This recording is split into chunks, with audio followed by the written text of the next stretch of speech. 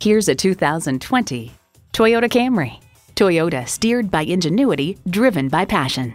You'll look forward to every drive with features like these.